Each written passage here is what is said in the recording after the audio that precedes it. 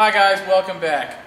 We're going to review a few things of the Cayman style hardtop for the Boxster so you can see exactly how we cut it down and how to assemble the top. So over here, this is what we discussed earlier where we had to trim it down in order to fit inside the Boxster that we had.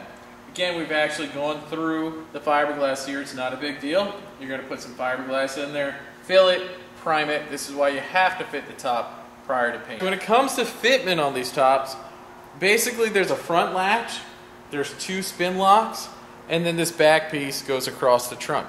And depending on the height of your trunk lid, in order for the rear hatch to close completely, we had to reduce the height of these two pieces here.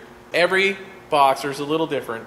And in order to make the hatch come down and look completely flush, what we had to do with this vehicle was we had to trim this down. So every time you fit this vehicle, you want to make sure the hatch goes flush.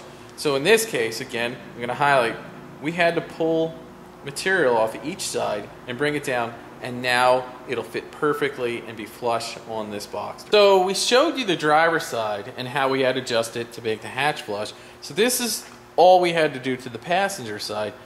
So in other words, we had to take it down just a little bit to make it look perfect. What a good look it has.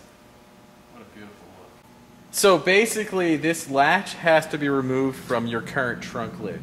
Uh, here is an adjustment to make sure it fits correctly and you can see we have washers on it because it's easily slid forward and back. So basically what we say is leave these bolts loose, set it down, make sure it latches, and then come back and tighten. So the other question is, where do the hinges come from for the hatch? These hatch hinges are your trunk lid hinges. In this case, we painted them to make them look good and match the rest of the car. However, you get the hydraulics, they come with your kit, um, and the hinges come from your car. So these hinges are your original trunk hinges that you put on the hatch. So all the glass that you need, all the gaskets, the hydraulics, everything comes with the kit. This is a tinted window, but remember, this has a defroster built in, so you use your defroster wiring, your OE wiring.